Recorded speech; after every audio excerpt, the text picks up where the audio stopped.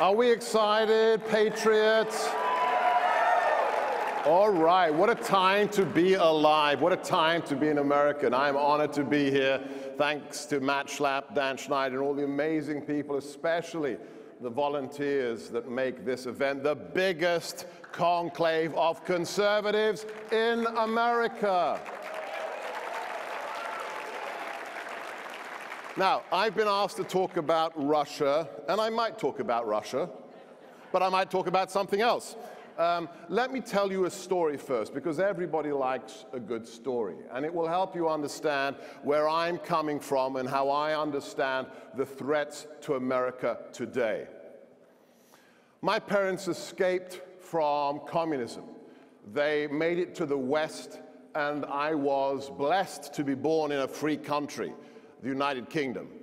And despite being born there, we would vacation every year in France. And I want to tell you about an event during my childhood that changed my life forever. My father was an athlete. He was an amazing, a powerful figure of a man, and he loved to swim. And I remember being on the beach in France, maybe seven, eight years old. And I was playing on the sand, and my father comes out of the sea, and I noticed something. I saw for the first time in my life I saw on his wrists these deep white lines. And I thought, he's, he's, my dad's not old enough to be wrinkled. What's that? So I said to him, Dad, what's that? Without blinking, without hesitating, with no emotion, he just looked at me and said, Son, that's where the secret police bound my wrists together with wire behind my back so they could hang me from the ceiling of the torture chamber. That is the threat to America. At that point, I knew that socialism isn't just theoretical, it is a real threat. Now, why does this connect to the topic I've been given today? It connects because Russia we have to remember, is run by a former KGB colonel. That's the kind of person who would be torturing freedom fighters like my father in the basement of the headquarters of the KGB. That's the reality. There's a lot of fake news out there about Russia, but let's look at the facts. It's run by a man who thinks it's okay to use radioactive polonium to assassinate somebody he doesn't like with, like in the UK. Not on his territory, assassinate them somewhere else. He thinks it's okay to use chemical weapons against people he disagrees with, as with the Skripal attempted assassination. This is a man who broke a 70 year taboo, international taboo, when he invaded the Ukraine and annexed the property, the territory of another nation for himself. Not since 1945, not since the end of World War II, not since we dropped nuclear bombs on Japan has that taboo been broken. Vladimir Putin broke it. However, here's the good news. Russia today is not a superpower. It's not the Soviet Union thanks in part to the President of the United States, who's driven energy prices so low that that one-horse town Russia, which runs on gas and oil, is in deep, deep trouble today. And, and let's, let's look at the reality. We just had this rat fink Michael Cohen try to get the president in trouble yesterday, but on my radio show, I used the soundbite, and I think I'm going to use it probably every day for the next year. Michael Cohen said, No, sir, I have no evidence of Russian collusion with the president. Thank you, Michael Cohen. Why? Because there wasn't any. I was in the Oval Office with the president it was May or June of 2017, just the two of us. And I was in there for other business, but suddenly he changed the subject, looked at me, he got that laser eye look he does sometimes, and he said, they will find nothing because there is nothing.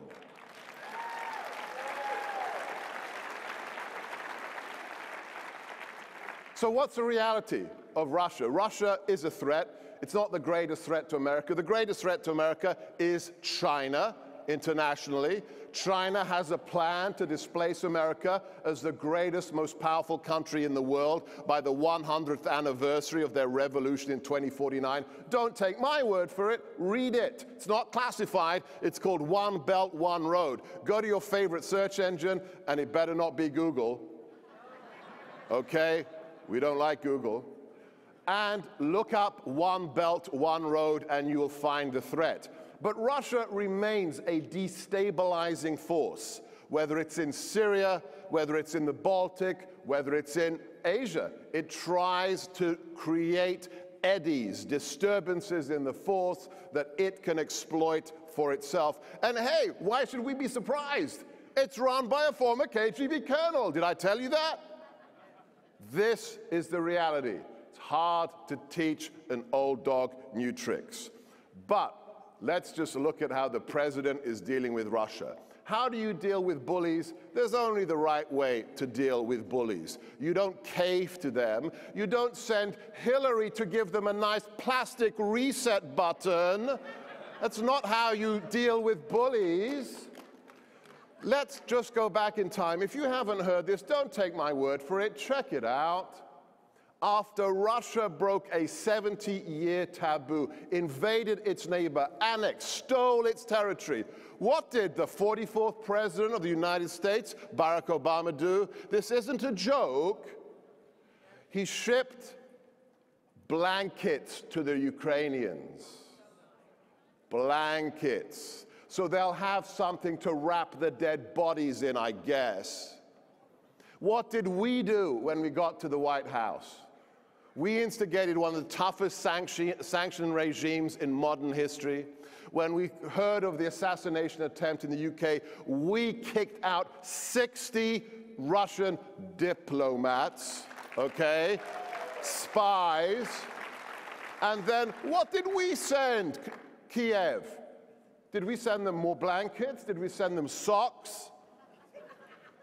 Donald J. Trump sent the government of the Ukraine anti-tank missiles.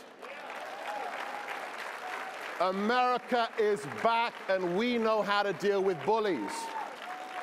We're not going to fight your wars for you, but we'll help you fight your own wars.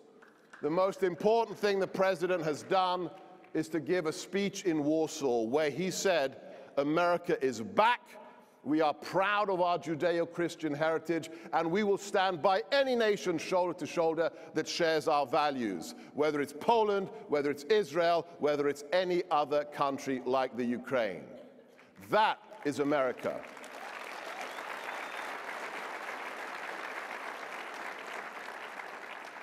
Now, let me cheat and talk about what I really want to talk about. Dan? No, he's not here. Good. Matt, not here. Okay. There is a connection. I, am not stretching it. There is a segue. Russia will be dealt with. We will put it back in its box, just like President is dealing with North Korea, playing hardball, just the same way he's dealing with Iran and all the threats that face us. But you know what the biggest threat to America is? Not socialism in Moscow, socialism here in America.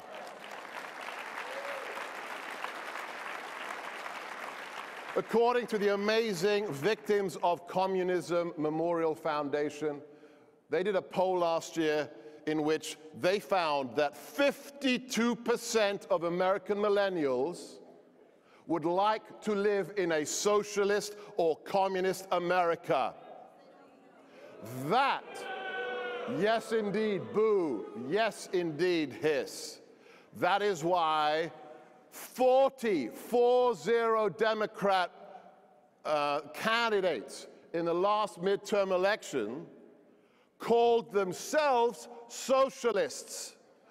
That is why Alexandria Ocasio Cortez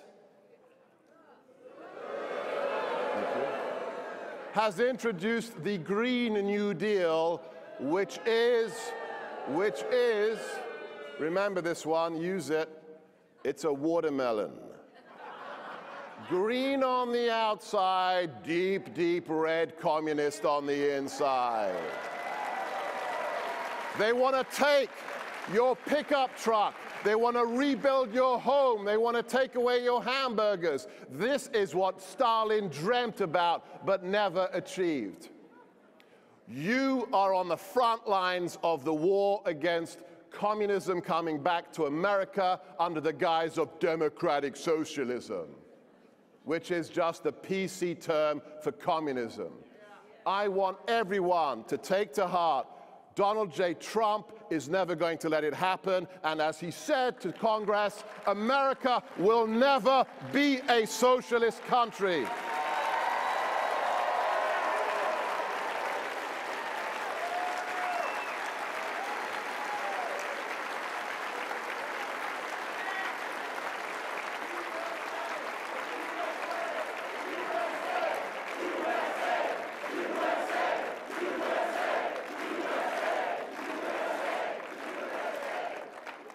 America First, America, America First, that's a great name for a radio show. Have you heard of it? Check it out. America First, America Always. God bless all of you. Can I ask a favor before I go? The boss always likes this. Can you stand up and we'll give you a thumbs up? Come on, everybody. God bless.